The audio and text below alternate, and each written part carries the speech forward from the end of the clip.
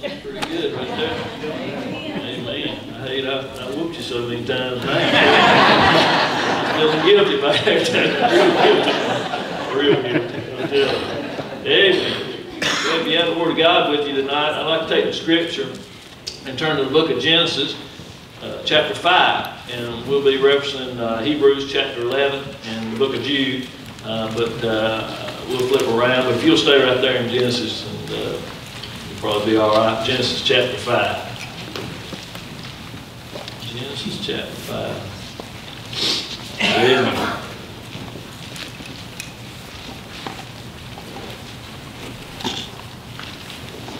Genesis chapter 5. Now, Genesis chapter 5, you read that and studied the book of Genesis, you realize, realize that's a, uh, the, uh, uh, the genealogy, the, the generations of Adam. And so it's kind of one of those where you start reading quite a few names and you decide, well, I can't pronounce it now. I think I'll just skip that chapter. And uh, that's kind of how we do when we come to that. Maybe uh, First Chronicles, you read a little bit of the first few chapters and a lot of those names that we uh, can't really pronounce and uh, wonder what the significance of this uh, chapter is. And, and, so we're going to look at that and just see. There's a lot of stuff in chapter 5, but uh, we're just going to pull out one one man tonight and just look at his life. And uh, chapter 5 um, says in verse 21 of chapter 5, And Enoch lived 65 years and begot Methuselah. And Enoch walked with God after he begat Methuselah 300 years, and he begat sons and daughters. And all the days of Enoch were 365 years. And Enoch walked with God, and he was not, for God took him. Let's pray. Lord, just thank you again, Lord Father, for your word. I pray you just give me unction, Lord Father, uh, to preach.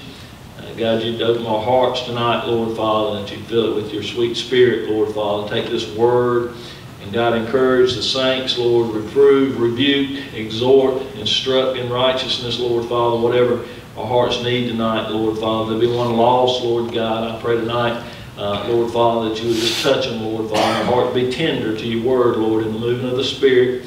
So, God, I pray you just do something in the midst of your people. We just thank you and praise you. And we ask it in Jesus' name. Amen. Amen. Now, Enoch uh, is significant in many ways in the Bible. He's mentioned in a couple of other places in Scripture. Of course, Hebrews chapter 11 and the book of Jude. And so, uh, anytime you see uh, someone from the Old Testament mentioned in the New Testament, uh, that gives you um, a reason, even a more reason, uh, to kind of dig down into that, kind of drive uh, that home and what that means to us. And they're, they're in there and uh, mentioned for uh, some reasons that God wants you to know. And you have to do a little studying sometimes to find out. So Enoch is significant in Scripture for several reasons that I want to look at this evening. First, certainly his faith is certainly significant and an example for us in the time that we're living. Uh, Hebrews 11:5 says, By faith Enoch was translated. In other words, he was uh, raptured, uh, would be uh, what we would call it, that he should not see death, and was not found because God had translated him in him. For before his translation, he had this testimony that he pleased God. Of course, his life is significant because through faith he was saved from the wrath to come. He was saved from the wrath to come. That's significant for you and I, we'll talk about that in a minute. But he was saved from the flood and the destruction of the world. His life is significant because he was one of the two men uh, in the Bible, along with a, a, man named Elijah, that cheated death. That cheated death. And they didn't die. They just uh, went up to heaven. And uh, that's, that, that is significant, and um, we can talk about that a little bit. That's a sermon within itself. And it's also significant because uh, perhaps his uh, family, a little bit more famous than Enoch. He had a famous family. And so that's significant uh, as we look at that tonight. And so let's just uh, look uh, at uh, three points here tonight that Enoch is significant in and three uh, kind of things I believe will help us out in our Bible study. And so I want to preach to you tonight, first of all, and I want to look at this first thing, Enoch and our future. Enoch and our future. Jude 14 through 15, verse 14 and 15 tells us this. And Enoch also, and this is speaking of this same Enoch in the book of Jude, also the seventh from Adam prophesied of this, saying, Behold, the Lord cometh with 10,000 of his saints to execute judgment upon all and to convince all that are, ungod- that are ungodly among them of all their ungodly deeds which they have ungodly committed, and of all their hard speeches which ungodly sinners have spoken against him. Now, the, it's significant, whatever the Bible says is always significant, but you'll notice that he mentions specifically that he's the seventh from Adam. Now, we already talked about seven a little bit this morning. Uh, all the times, that's God's perfect number, so to speak. You see it in creation. Uh, you see it in a lot of things, seven notes, musical notes, uh, seven days in a week, but you see it in the Bible over and over again uh, throughout Scripture, Old Testament and New Testament, especially in the book of Revelation. But seven, again, means something. And of course, uh, what it means here is that Enoch was the culmination uh, of man and his faith in God. It's interesting that the same man uh, that was the seventh from Adam on Cain's side, you remember Cain? Remember what Cain did? He did what? Okay, some of you remember what he did. Say that again. He murdered his brother Abel, right? And so he was the wicked line uh, from Adam and Eve. And he was put out, he was a vagabond, he was cast out. And the seventh from him was a man named Lamech. He was a wicked man, an evil man. But the seventh on Seth's side, which was a godly side, was this man Enoch. And so this man uh, culminated as the seventh from Adam, and he is the really the epitome of faith uh, in a wicked, wicked time. And that's what it, that's what that seventh is in there for, I believe, to, to draw attention to that. We also find out through these verses, uh, if we didn't have these New Testament verses, we wouldn't know. We also find out that he was a preacher and a prophet. Now that's amazing. And the reason it's amazing is because they didn't have any Bible back then, okay? They had no Bible. They had no written word. The law, this is way before uh, Moses, way before the book of Exodus, and way before God gives the law to Moses. And so it's, it's really, really amazing that he was a preacher, really back in those days, and a prophet. Uh, and that's amazing within itself. But because of his faith, Listen, because of his faith, because he was a uh, walker with God, a servant of God, he had great faith in God, and because of his faith, he knew the mind and the plan of the master. You see, in the Bible, it's always the same. It's those, the servants, they always had the mind of the master. Did you ever notice that in the Bible? Notice this, John 2 9. When the ruler of the feast had tasted the water that was made with wine. Remember the first miracle in the Bible? And it's amazing that uh, most people that don't go to church, they know that, don't they? They turn the water into wine. Everybody knows that verse. All the heathens know that verse, don't they? They'll throw that on you, you know, if you talk about alcohol or something like that. And, and so, uh, but anyway, back to this story. It says, And the ruler of the feast had tasted the water that was made wine, and he knew not whence it was. In other words, uh, Jesus saw that there was a problem. Uh, he took the water, turned it into wine.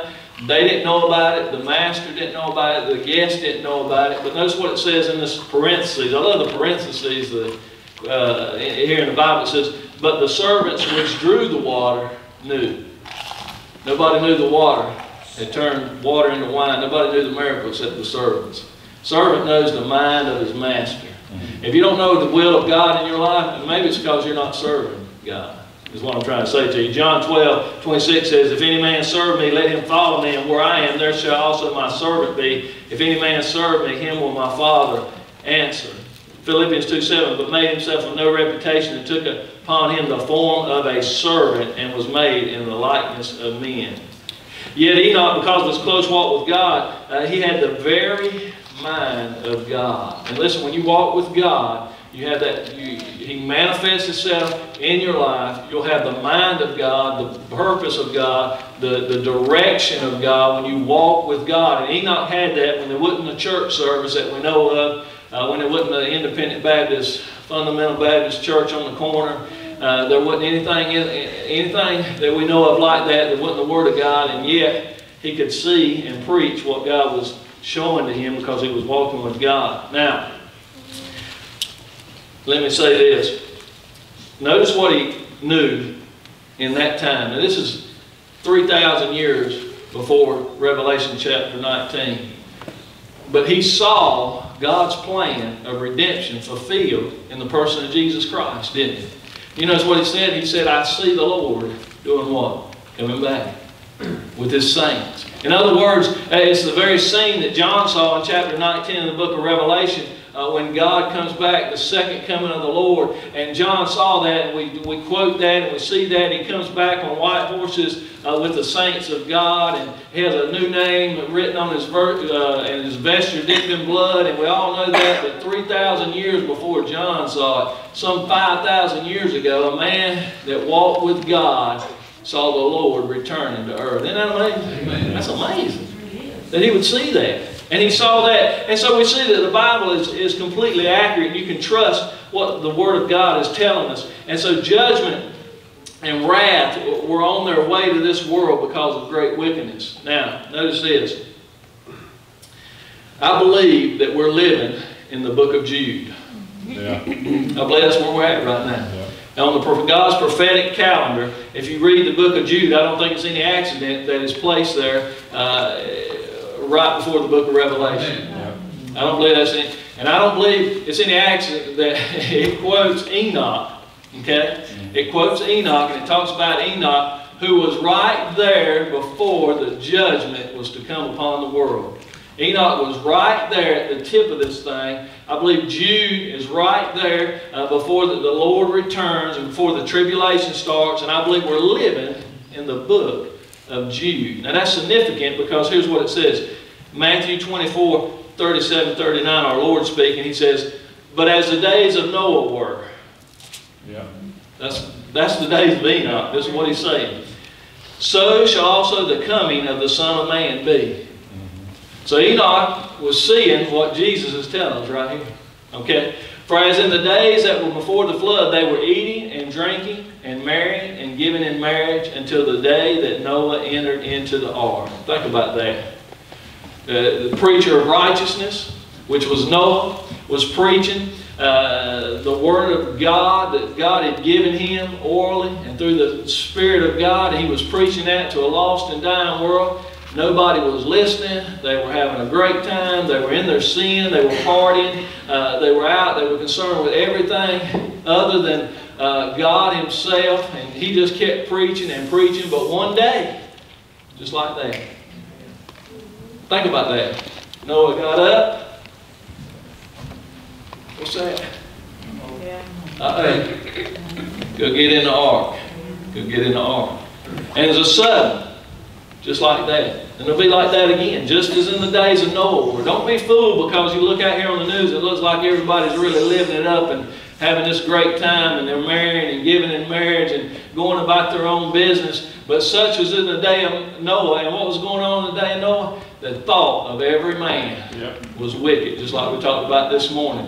And God looked down and knew the thoughts, not just the deeds that we're doing, but He knew the thoughts of man, and He said, It repenteth me. It broke. In other words, when He uses that word repenteth, it's different than what He uses that in the New Testament, when we think of changing our mind, God doesn't change. He's not, there's no shadow of turning in Him. What that means is it broke God's heart when He saw what man was given over to, even in his thoughts. And in the days of Noah, so shall it be when the Lord comes back. We are living in the days of Noah. We're living in the book of Jude. Enoch was right on the money. He looked down through the thousands of years, the eons of time, and said the Lord's going to come back and he's going to settle this thing and redeem his people. And he knew that. It's amazing. It's, I'm enjoying this. Amen. Enoch is a picture, I believe, and I believe if you, most people, if you really study this, you'll see this. And Enoch is a picture of the church being spared from judgment. Yeah. He got translated. You know what you do when you translate something? Amen. Just like in when your translators translate a word, they take it out from one language and they put it into another language. There. In other words, they took Enoch, went out of one world, and came into another world. That's what the rapture is. We're coming out of this world. We're going to be raptured up, snatched up. And Enoch was, and then bang, he was not. and everybody said, we can't find Enoch. We can't find Enoch. Enoch was gone. Enoch was translated right before destruction was headed for this world. And it turned out to be just that.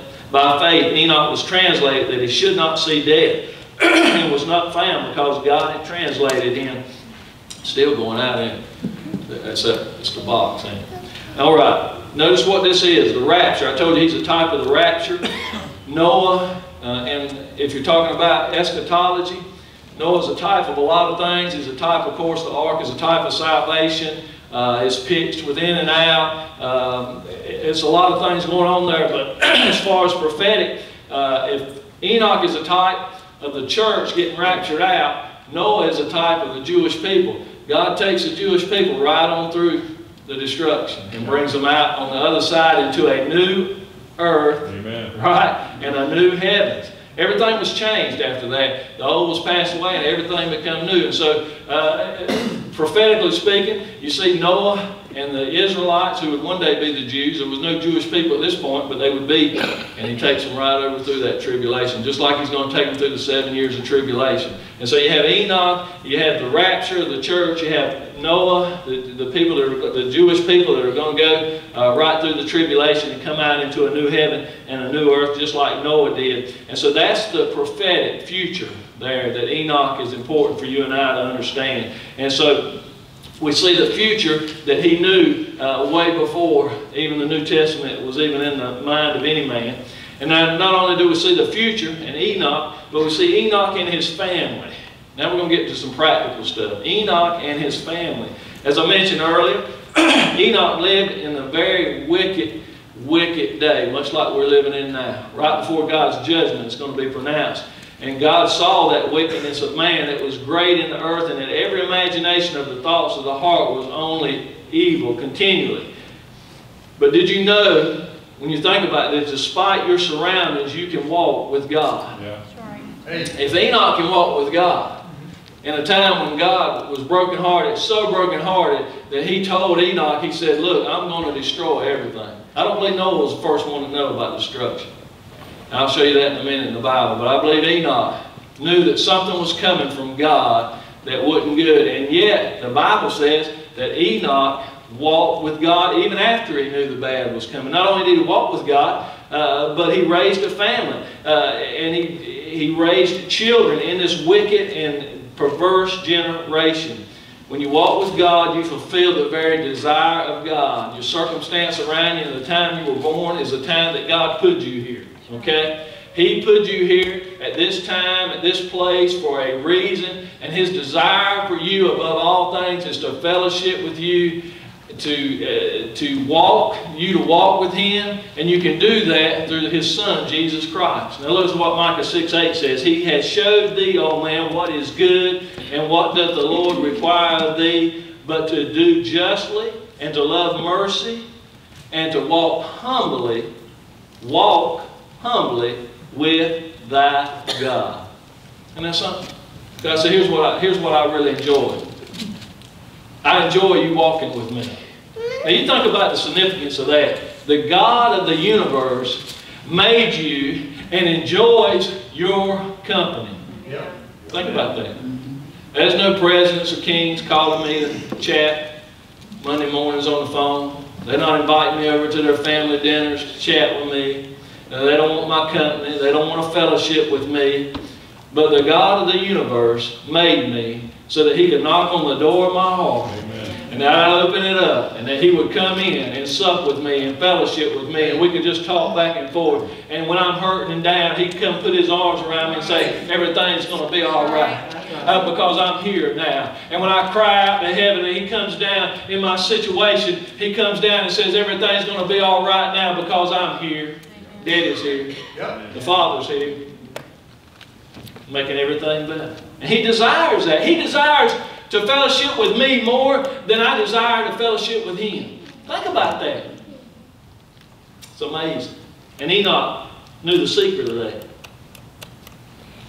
Had a testimony that he pleased God. He pleased God by what? By what? Walking with Him. Just by walking with Him. Fellowshipping with Him. Having faith in Him. That verse I just read to you, verse 5, it says uh, that he was translated, he was not. And, and before, before his translation, he had this testimony that he pleased God. The next verse says, But without faith it is impossible to please God. How's your faith? How's your faith? It says, without it, you can't please Him. I told you this morning, faith is obedience despite all your circumstances around. Faith is really, it's agreeing with God despite everything your mind is telling you. You ever think that, that can't happen? You mind just play tricks on them? You see somebody, some gutter, uh, somebody in the gutter most, and you say there's no help for them. Your mind tells you that, doesn't it? Uh, you look at your situation around, you say, hmm, God can't help me in this deal. But I want to tell you, you have to have faith to please God. And Amos said, can two walk together except they be agreed? In other words, do you agree with what your mind tells you, what Oprah tells you, what your buddies on Facebook tell you, or do you agree with what God says? Because you can't walk with God unless you agree with Him by faith. I'm wrong on whatever I think, God, but you're right on everything that you think, and I agree with you. And so the first thing is faith. Uh, that's what pleases God. That's what enables us to walk with God because we're agreeing. It's interesting when you look at the ages of the genealogies and you study chapter 5 of the, these antediluvians that you'll hear them called, or, or the people before the flood, uh, that's what they're called, that Adam was alive for the whole time that Enoch was alive. They were contemporaries. I mean, in other words, his grandpa was Adam. Okay? His grandpa was Adam. Adam lived at 900 some years old. Uh, Enoch, uh, he would have uh, would have been born about 600, about, about Adam's 600th year, if you go by these genealogies. And so, can you imagine that you would live in a time when you could talk to your grandpa Adam, who walked with God? Think about that. I wonder how that conversation went, brother. Grandpa, can you tell me how it was? Oh, Enoch. I remember very well how the, in the cool of the day, God used to come down. He'd say, Adam. And he'd say, Adam, where are you at? Where's you? He, he would talk to your grandma and I. He'd say, where you at? He'd come and he'd fellowship with us. And we'd have, and we'd walk and talk, and, and, and he would love on us, and, and uh, you just don't know how that was, Enoch. It was so wonderful. He, he says, Enoch, you know what it was like? It was like, it was like paradise. Hey, It was just like paradise. Enoch sitting at the feet of old Adam hearing those stories. I believe he heard about that and said, you know, that, that sounds good. That's what I want. He had a heart for God. He had a heart to walk with God. He said, I want, I want that, Grandpa. I want what you had over there. That must have been great, Grandpa. Can you see the little tears welling up in old Adam's eye as he's telling that story? How it was so good. Well, why don't you walk like that anymore with God, Grandpa? Why don't you walk like that anymore with Him? Well, Enoch, did a bad thing. Sin broke the fellowship. So that's what sin does. It keeps you from walking with God. It keeps you from fellowshipping with Him. But you'll notice what happened. You notice that verse? Let me read this again. I know I'm rambling on. Listen. And Enoch, Enoch lived 65 years and begot Methuselah. And Enoch walked with God after he got begat Methuselah 300 years. I believe when you have children, it's a good time to get right with God, isn't it? Amen. Something happened after he had that first baby boy. I believe he looked down at Methuselah and God told him So You know what Methuselah, the name Methuselah means? Dr. Adrian Rogers, among a lot of preachers and scholars, the name Methuselah uh, means that when he is dead, God will show. That's interesting, it? When he is dead, God will show. Or when he is dead, God will sin. Dr. Henry Morris translates that the same way in his book, The Genesis Record, Methuselah, uh, two Hebrew words, and it means uh, exactly what Dr. Morris, I believe, translated. When he is dead, it shall be shown, or it shall be sent. You know what happened after Methuselah died? It was judgment. It was judgment. God held off his hand until Methuselah died to bring judgment on this world. now, the reason that's important is Methuselah was the oldest man that's ever recorded that lived, right?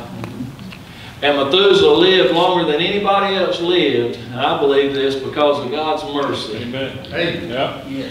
God said, Enoch, I got some bad news. You've had your first son, you're excited as you can be. You're, you're, you're going to have a, a, a great family, but you live in a wicked time, and I'm telling you, I'm coming to judge this world. He said, I think I'll name my son Methuselah to remind me of that.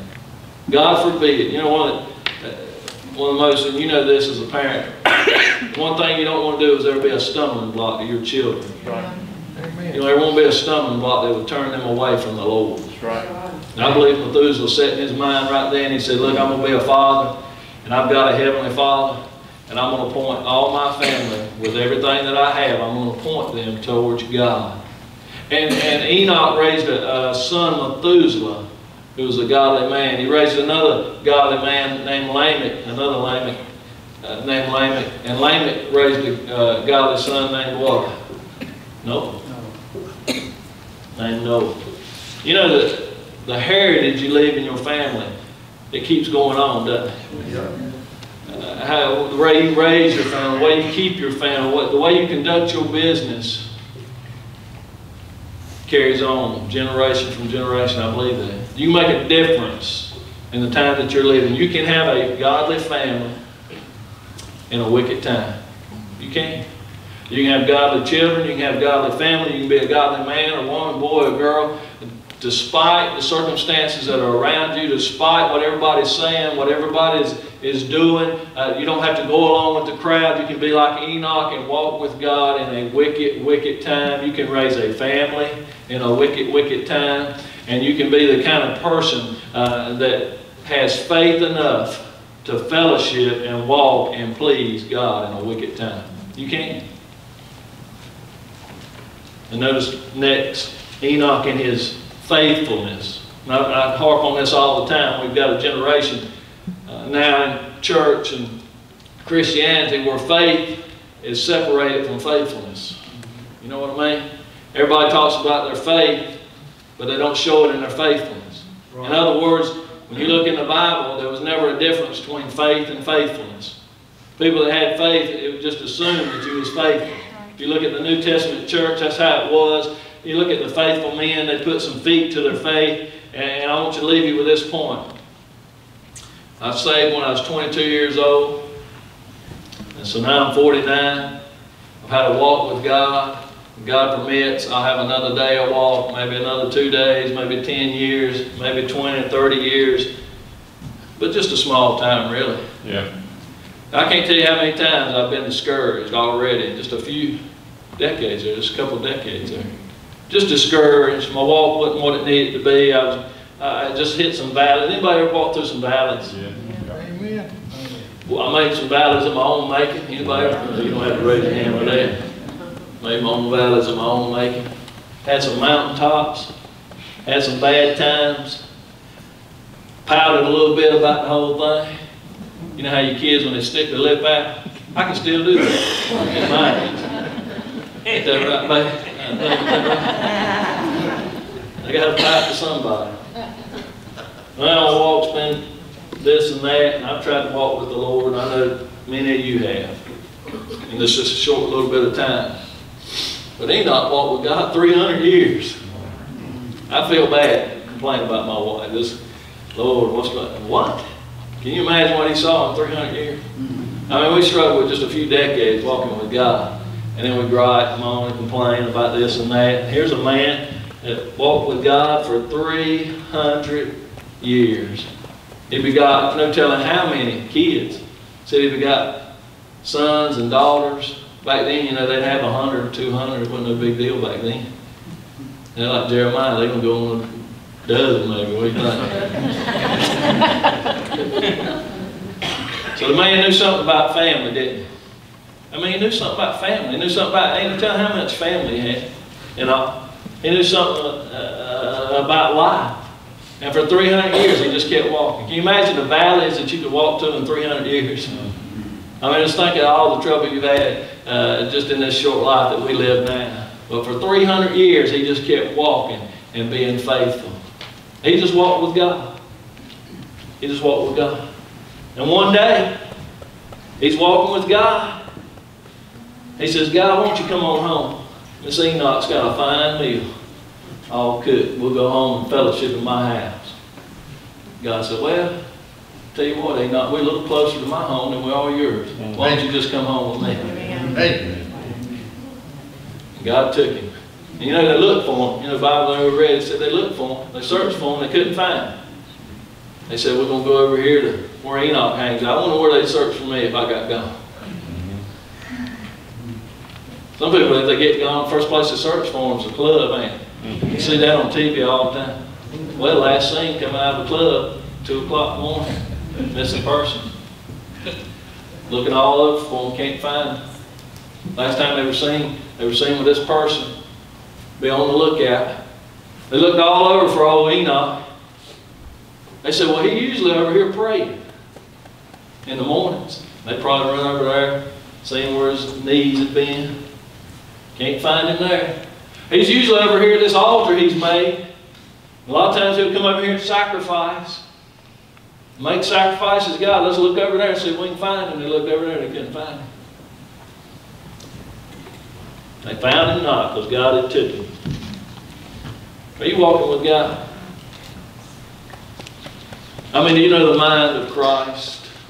Are you walking so close to Him that you just know every step, you feel His presence? You've got direction, you've got uh, wisdom because you're walking with Him. Your future is secure. Just think what Enoch knew was coming. He didn't just throw up the towel and say, you know what? Hopeless. It's all fatal. Vanity of vanity. Just let the kids do what they want to do. It's all destruction anyway. No, he just kept being faithful, knowing what was coming. How about your family? Does your family know where you stand? Are you raising and putting godly influence in your house and in your home and then your small little ones, grandkids, nephews? How about your faithfulness? I wonder if you got to miss them. Would anybody come to the church look for you? Would anybody uh, look for you over in your prayer, prayer closet? think you might have fell asleep in your prayer closet and I can't find you. The door shut. Enoch walked with God. I wonder if we'd stand and we'll sing a verse or two. Maybe you just want to say, God,